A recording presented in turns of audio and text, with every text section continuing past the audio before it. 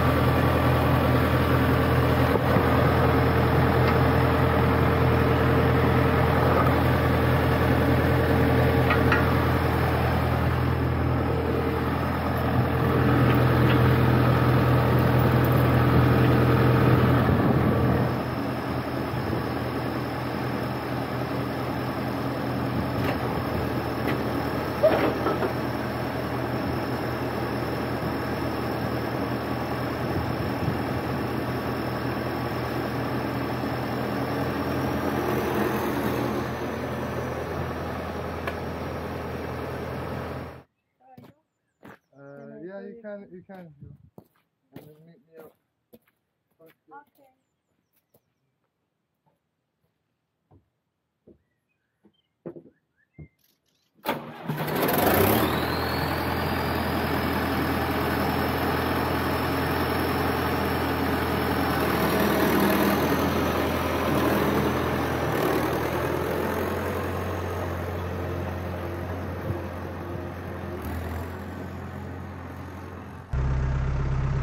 Now, for regular viewers, this might seem like a bit of deja vu, as I had this machine out two years ago on the case 4230, but this is how I got on.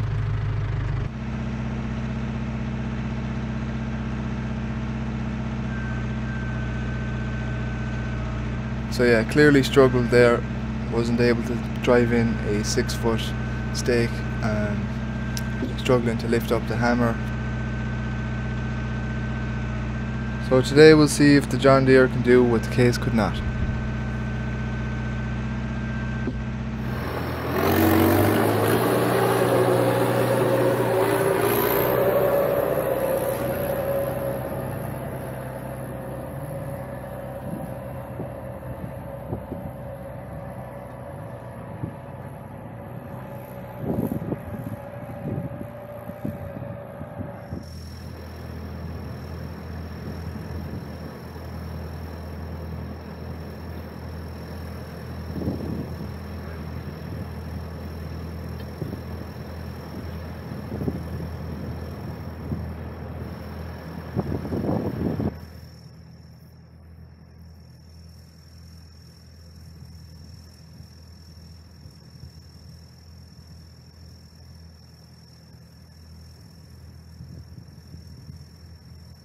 Can we hold this for a minute?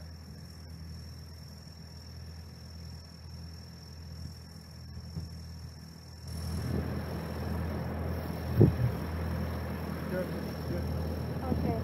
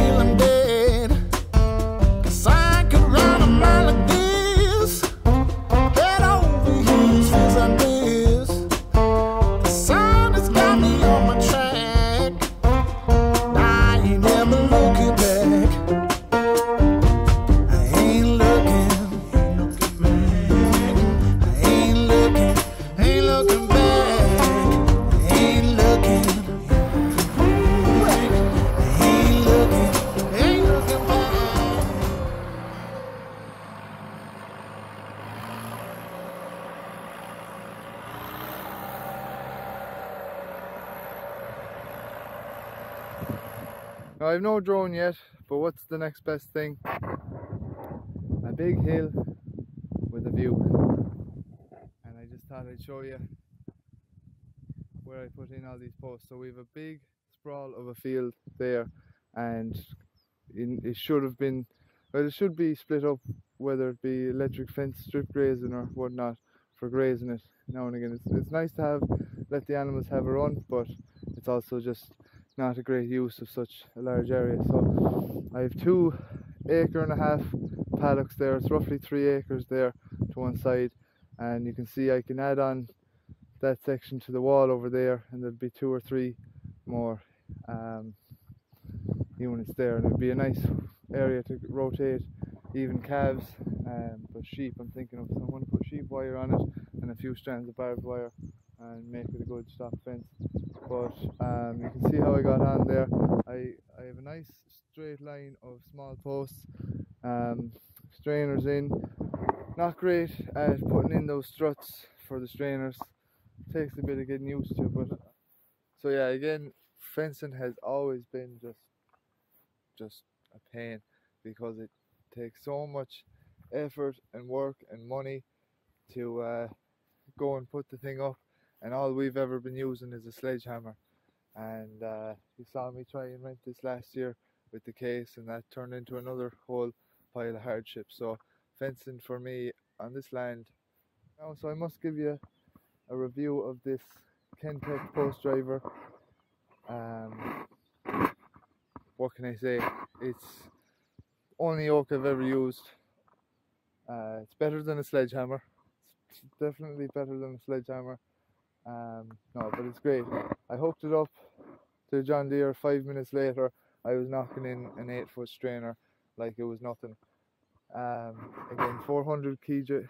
If I didn't mention before, there's a 400 kg weight there, the square uh, block. You have your plate to rest on top of the stakes. Try and get a spike into the timber, keep it steady, leave that down, take off your chain there when the weight is off it, and then you can go away and hammer. And uh, the leveling and the the tilt and side to side shift, all of it, whatever works great. It's fantastic.